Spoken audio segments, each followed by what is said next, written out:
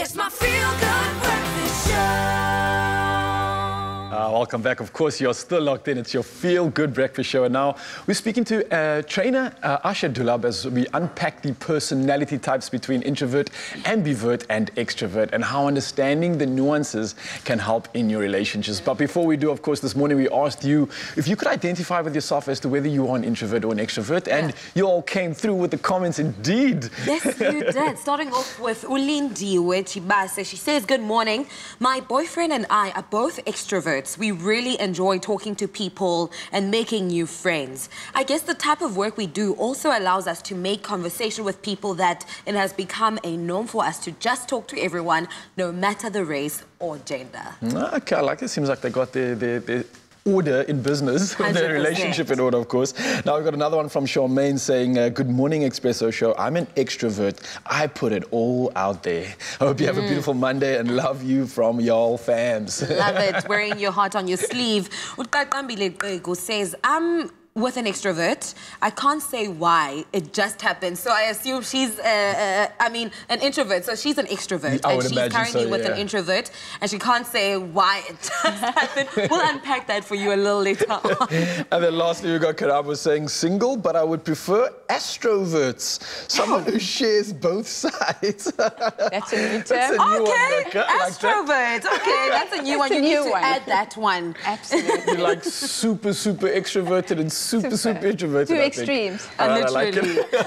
I'm just going to get straight into our mm-hmm. second part of our conversation. We, the first part was distinguishing the differences between introvert, ambi- ambivert, and mm. extrovert. So now, when you mix these two different personality types, is there like some benefits, especially when it comes to relationships? Sure. So it's not as simplistic as just an introvert, extrovert, or introvert, introvert. It's, it's really about the blend of two people coming together. So t- two introverts can easily come together in a relationship and be very happy. They share very similar interests. They enjoy their time together. They cook together. They read together. They write together. I mean, they can um, sometimes overthink, get too much in their head because they're very much um, in their analytical time alone mode. And on the extroverts, I mean, like the, the lady said, they, they, they, they just, you know, get it off. They go out, they socialize, they, they're extroverts. So, I mean, I think that one, again, one needs to just focus on that blend in a relationship. And we can blend with anybody. It's what feels comfortable. Um, is the love, is the relationship feeling energized? Is this person making me feel exhausted? Is this person making me feel depleted? Or are they energizing me? Am I excited? Remember that we also have different stages of relationships. So usually in the honeymoon stage, we're all very excited and energized. And as we get to know someone, things change. Um, and that just brings about the different layers of our personality. Yeah, we have so so many layers. Just unpacking it and hearing you speak about it is just it seems so overwhelming to me. Mm. And I would imagine being in a relationship, you always sometimes need to reach this bar. There's a standard, Mm. and I think a lot of people are trying to pursue this perfect balance that we speak of.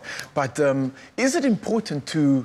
I, I would imagine strive for that balance. Like if I'm an extrovert, do I need to then focus on being more of an introvert, and vice versa? As an introvert, do I need to spend my energy trying to be an extrovert, or can I spend that energy and, and elsewhere? I guess. I think you must just be your natural self. What comes naturally to you? Um, that's, that's more your authentic self. You know, if we look at personality, we need to look at where this word comes from. It comes from the word persona.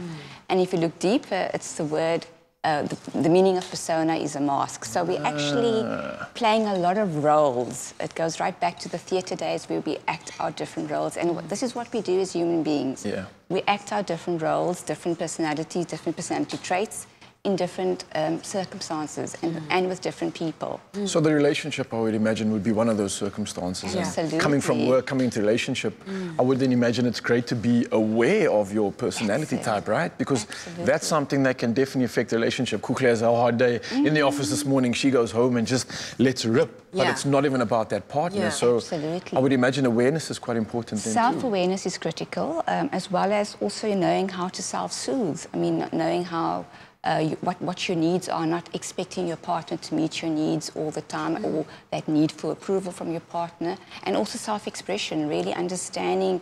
You know, what is your own world about? And being able to express that to your partner. And also asking your partner, what is going on in your world? Um, because we can get so caught up in our daily routines. Um, Um, so that's an important question as well. Literally, I was about to ask that question and Ryle decided to overtake me. but you've touched on it now, and I want to unpack a little bit further mm. into how do we communicate our worlds to our partners, you mm. know? Because as an extrovert, I have a different way of communicating to my mm-hmm. partner who might be an introvert, or he might be an extrovert, but his channel of communication is different from Yeah. mine. Sure. So we must remember that an introvert is a very good listener. They are all about deep conversations and deep listening, where the extrovert will speak um, quite with sometimes without thinking, as I said. Um, and it's about again just understanding. You know, okay, my partner's more of an extrovert. I need to listen more, and you know, the extrovert understanding that the partner actually.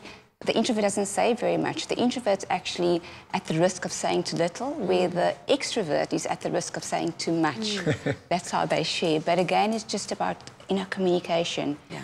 Um, yeah, and spending that quality time with partners. If you think about the introverts, they are ones that love that quality time. Yeah. If I think about the love languages that we spoke about a few weeks ago. Yes. So, yeah, it's really just getting to know your partner. No, I love it. definitely. How about you, Ryle? How long have you been in a relationship now? Um, uh, recently, I think about at least four years, to be very honest. What? On and off. I had no idea Ryle was in a relationship for four years. and, how,